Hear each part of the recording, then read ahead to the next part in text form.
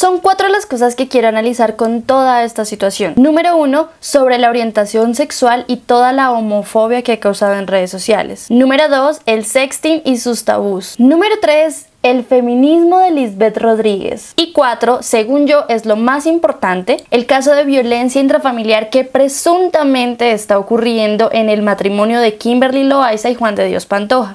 Hola, ¿qué tal? La mona soy yo y bienvenidos a un nuevo video. Si estás viendo esto es porque seguramente ya conoces el caso. Si no es así, pausa este video, lee abajo la descripción y te vas a enterar de todo el contexto. Luego sigues viendo todo mi análisis respecto a este polémico acontecimiento que nos dejó con la boca abierta a todos. Todo empezó cuando Lisbeth empezó a tuitear cosas respecto a una supuesta infidelidad con Juan de Dios Pantoja y Kevin, el fotógrafo de Juan de Dios. Hasta ahí todo era un chisme, de hecho sigue siendo un chisme de youtubers. Lo que sí llamó mi atención fue en particular cuando Lisbeth empezó a tuitear con el hashtag amiga date cuenta, mujeres unidas, juntas podemos más, no estás sola. Según ella, lo que quiere principalmente es ayudar a Kimberly a que se dé cuenta de la clase de hombre que tiene al lado. Eso hizo que yo entrara a enterarme de verdad este chisme. Tweets venían, tweets iban, fotos, screenshots, pantallazos de conversaciones. Lisbeth Rodríguez hizo un video hablando del tema, Juan de Dios hizo un video hablando del tema en el que nos enteramos de muchas otras verdades que con toda esta información dije voy a hacer un video porque no es posible que estemos viéndolo por donde no es. Número uno, vamos a hablar de la orientación sexual de Juan de Dios Pantoja. Evidentemente yo no estoy ni a favor de uno ni a favor del otro, de hecho ni siquiera consumo el contenido de ellos, pero obviamente como por cultura general de youtubers yo sé quiénes son ellos. Juan de Dios es un hombre bastante polémico, desde sus inicios ha estado en boca de todo el mundo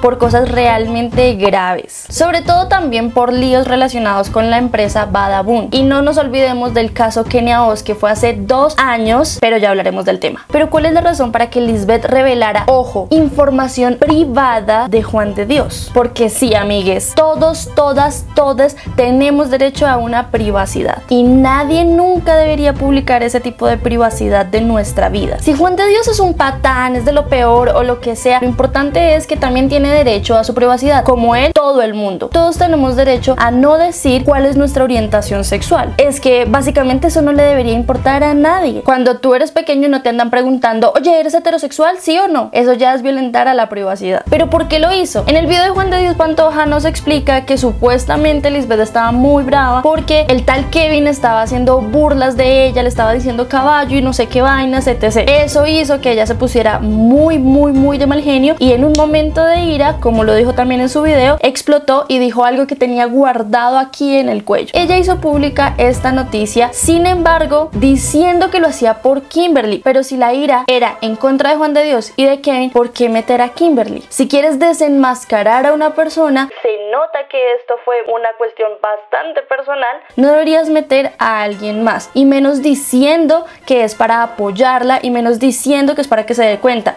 Ya vamos a hablar de eso en el cuarto punto. Aquí lo realmente importante es independientemente si es gay, bisexual, heterosexual o lo que sea, es que fue infiel. No importa si fue con un hombre o con una mujer, fue infiel. Y muchas personas aquí se ve, pero totalmente la homofobia que hay en redes sociales. Dios mío, la cantidad de gente que estaba súper aterrada porque supuestamente le estaba siendo infiel con un hombre. ¿Qué? O sea, no importa si fue con un hombre o no, lo importante es que le fue infiel. Y creo que esto es algo que muchas personas ya sabían. Porque cuando el río suena, piedras lleva. Y cuando uno se vuelve tan fanático a alguien, le cuesta bastante creer la verdad. Ustedes sacarán sus propias conclusiones, pero lo que me parece terrible es juzgar a una persona por su orientación sexual. Y aquí viene mi número 2. Él insistió, insistió que sacaran pruebas y de repente salen pruebas. ¿Qué pruebas? Videos eróticos, videos que no lo dejan muy bien parqueado a Juan de Dios, videos con una chica haciéndole una ya saben qué. Y otro teniendo relaciones con otra chica. Bueno, ese tipo de videos, escuchen bien, es normal grabarse, lo que no es normal es publicarlos. En pleno siglo XXI, en este año 2020, la mayoría de personas que tiene acceso a internet en su teléfono móvil en algún momento de sus vidas ha hecho o practicado de el sexting, el sexteo. ¿Qué es esto? Enviar una fotografía o un video de manera sexual a otra persona o a otras personas. El real caso es que es un video de menores de edad, lo cual tiene bastantes complicaciones. No tenemos ni idea si realmente el tipo alardió de este video en las oficinas de Badabun. No tenemos ni idea quién publicó este video porque cuando se trata de pornografía infantil, directamente los cargos se van a la persona que publicó el video y a las personas que estaban grabándolo se le puede ir hondo al muchacho. Yo considero que no hay que tener un estigma sobre este tipo de videos. Todo el mundo lo ha hecho, creo yo. ¿Es peligroso? Lo es. ¿No deberíamos enviarlos? Pues no. Pero de qué se hace, se hace. Lo que sí me parece grave es como lo dice la chica implicada en este video, es que Juan de Dios nunca borró ese video. Y personas que me están viendo al otro lado de la pantalla, si alguna vez han hecho este tipo de videos y ustedes dieron este voto de confianza, confiaron en alguien para que esa persona no publicar ese video o no lo guardara, créanme que conozco varias personas malintencionadas que todo ese tipo de contenido audiovisual lo tiene bien guardadito en su celular o en un computador. Los tiene ahí como si fueran una especie de trofeos. No los borran. Uno confía en esas personas y no borran ese contenido y lo tienen ahí por años. ¿Para qué? ¿Por qué? No tengo ni idea. Como les dije, muchas veces lo hacen como si fueran unos trofeos. Es supremamente peligroso porque ahí de nuevo estarían faltando a la privacidad y la intimidad de una persona y más cuando confía en otra persona. Qué mal. Porque creen que salieron a la luz estos videos, pero no se sabe quién fue la persona real que filtró estos videos. ¿Ah? Si Lisbeth dice que está tratando de ayudar a Kimberly, ¿por qué no ayudó a la otra chica? Mm, si se filtra un video así, también debieron, no sé, taparle la cara a la chica, qué sé yo, es que es muy grave. Yo sé que ella dijo como que no deberían juzgarla y pues en este mundo de machismo hay muchas personas que se fueron en contra de ella diciéndole destruye hogares, qué mala eres, como si ella fuera la culpable cuando fue el man el que fue infiel con Kimberly. No entiendo por qué todavía sigue ocurriendo este tipo de cosas. Si realmente se quiere ayudar a una persona que se cree está viviendo en un entorno de violencia, lo peor que podrías hacer es decirle a todo el mundo públicamente que su marido le es infiel, que su marido la abusa, escribirle cosas como amiga, date cuenta y que sus seguidores empiecen a decir eres una tonta, eres una tonta, mira este video, mira este video, mira lo que está haciendo tu marido. Pues te cuento, cuando ese tipo de cosas pasan, número 4, vemos que en un ambiente donde se profesa esta violencia intrafamiliar, Kimberly seguramente no va a salir tan fácil de ahí. De hecho, Juan de Dios Pantoja en el video dicen, ay, es que ustedes creen que si ella estuviera pasándola mal o ella estuviera mal no se hubiera ido. Pues amigo, ¿qué crees? No se va a ir. No, porque ella es la víctima. Y cuando uno está pasando por esa situación, uno tiende a creer tantas cosas. Uf, ella vive en una presión mediática bastante fuerte como para decir de un día para otro me voy. Llega alguien más que ni al caso, que no fue a buscarla directamente o que probablemente sí, pero al final expuso todo y no le dijo directamente, mira, tengo estas pruebas contra tu marido, tú qué piensas, qué va a pasar, no sé qué, si quieres buscamos ayuda, si tú quieres vamos a un psicólogo. No, eso no pasó. Eso sí sería ayudar a una amiga, pero publicarla en todas partes con este mundo de personas que te atacan con cualquier cosa y con facilidad. Kimberly debe estar cansadísima de que le digan eres una pendeja por quedarte con ese marido. Y lo que hace es que Kimberly se encierre muchísimo más. Ella y cualquier otra mujer que esté pasando por esta situación. Uno nunca, nunca, nunca, nunca, nunca debe hacer pública su situación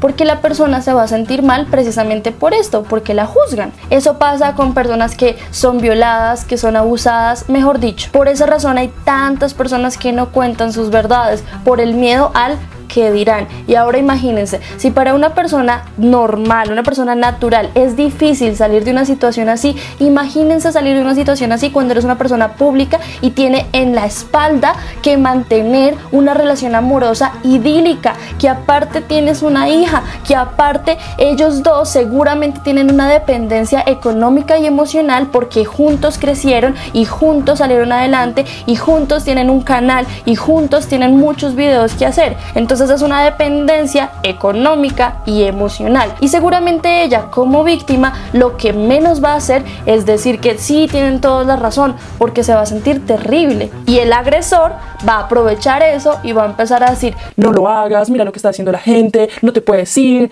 va a ser peor, nosotros tenemos muchas cosas que responder, o cómo me vas a dejar solo en esta situación, el amor de nosotros es muchísimo más fuerte, no le creas a nadie, nosotros dos podemos solos, yo he cambiado por ti, ¿qué va a decir la gente si nos separamos? No juzgues mis deslices. Y la mujer, dependiente de esta situación, se queda ahí.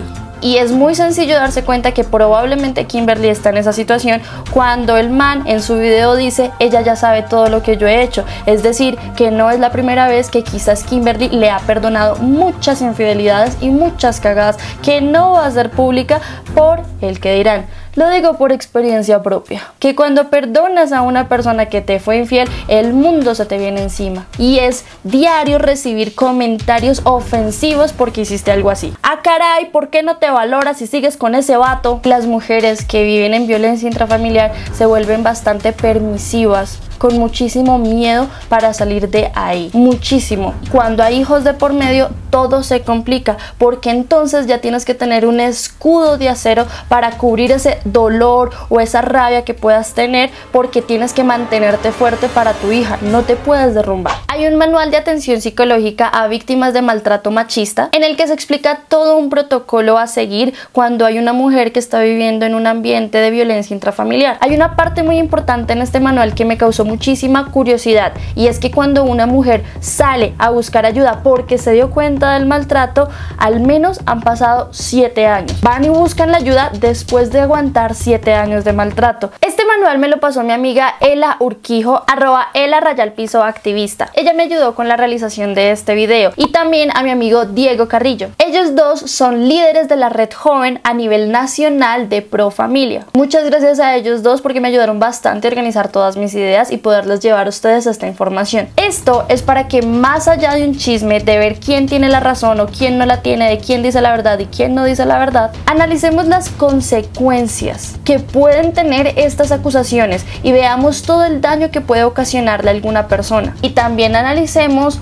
cómo empieza a actuar la comunidad, cómo empezamos a actuar nosotros como sociedad respecto a esto. En mi humilde opinión, yo creo que ambas personas erraron en esta situación, tanto Lisbeth como Juan de Dios. Por un lado, Lisbeth publicó cosas que quizás no debería haber hecho porque eso es algo muy privado y debió haberlos enfrentado de frente. Pero créanme chicos, y de verdad se los digo, si ustedes se enteraron de esto, eso no fue algo que pasó así porque sí, esto no fue algo ay, me dio la gana de hacerlo. No, esto antes de hacerlo público en redes ya venía formándose, ya venía creándose y ¡pum! estalló. Porque uno no publica cosas porque sí, uno es muy cuidadoso y más ellos que tienen tantos números y tantos seguidores. También tengamos en cuenta que sí, efectivamente todas las personas cambian, que no somos los mismos cuando tenemos 17, cuando tenemos 24, es verdad, pero que le hagamos daño a alguien hace dos años y dos años después venga a decir que todo era mentira, como que también deja en tela de juicio muchas cosas, ¿no?